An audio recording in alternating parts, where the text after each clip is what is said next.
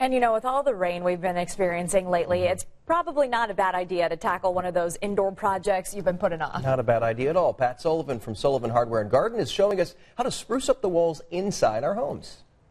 Well, I'm trying to help you through January, you know. Uh, so, one of the things that you can do while we're all sitting around waiting for spring is what about doing a little painting in the home?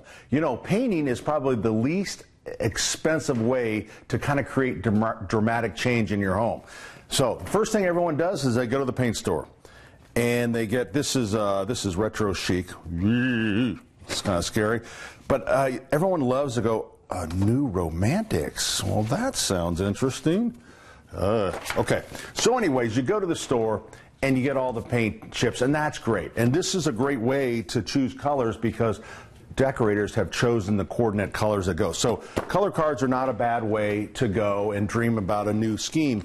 But that's not, it's, it's a fine place to start, but really, the starting needs to be in the prep because generally what everyone does is they decide a color and then they just want to start painting. And really, if you to do a nice job and do to do the job right, you've got to do the prep work. So the prep work starts with preparing the wall. So whether you have need a little spackling, if you are in a hurry, there's lightweight spackling that can be painted within a couple hours. So you kind of really look is there uh, uh, uh, markers or pin, anything like that would need a stain killing primer on it. If the wall's in pretty good shape, then you know you really don't you know washing it down, but you don't really need to prime it because uh, uh, the uh, the new paint will adhere just fine. Most of them are primer and paint combined which they always have been, but that's a big kind of a marketing thing right now. So using the right tools and getting, because if you buy really good paint, this is Pratt & Lambert paint, which is a, a good brand, but if you buy really good paint and then get inexpensive brushes and rollers, you can make your really good paint look really average. Even down to the rollers, like this is a uh, the $3 roller handle. Well, buying something a little nicer that uh, you can maneuver and it spreads more evenly is, is not a bad idea. Same thing with brushes. Get good brushes.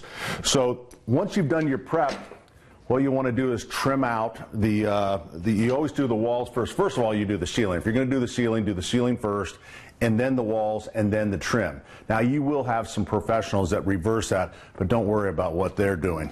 So you want to trim out, and when you trim out, the, the main thing is you always want to feather your paint down because you don't want to leave, if you just go here and lay paint there and you leave a thick ridge there, that's going to show up in your film. So make sure that you, you, you feather everything out. Feathering is just kind of pulling it down like that. And then as far as rolling, I always roll in like in the letter M, and then I go through and I fill it in. And the last thing I will do, especially on deeper colors, is pull the nap down all one direction because what that does, it prevents that lap. All right.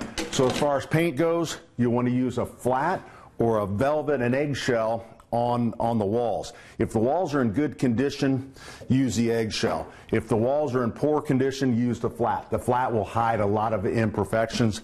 And as far as the trim goes, a little bit of semi-gloss, but take your time, do it right, and it's going to look great, and spring's right around the corner.